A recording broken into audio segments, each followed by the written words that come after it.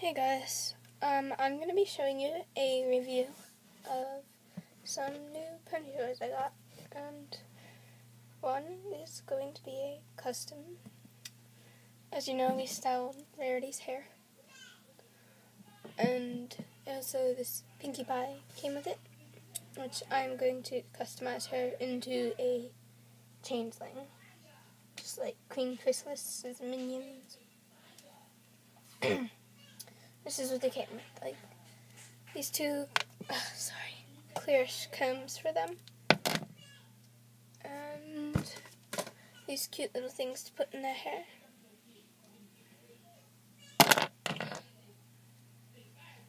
And here are the other ones. It's finally they came out with a Princess Celestia that had the right colors, which is white right here. Let me turn the better light on.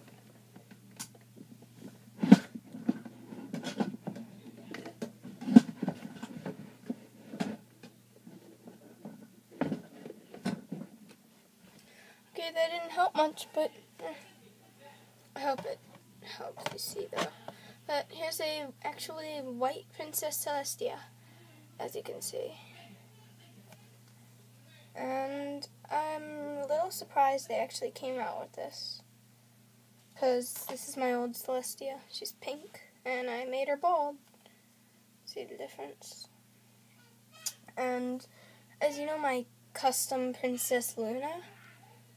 Well, as soon as I made that, I just figured out about this. They finally came out with a Princess Luna toy.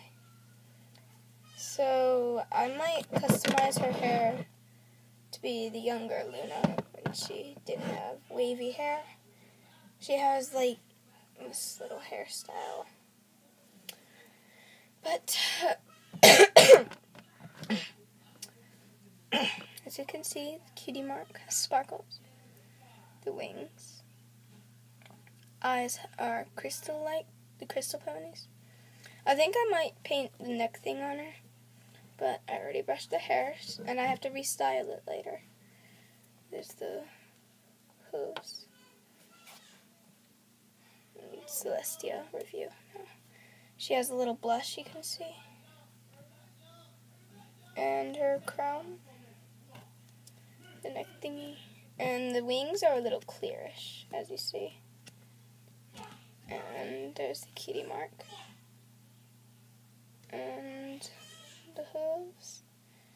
And that is a review of that So I hope you enjoy this. Bro hoof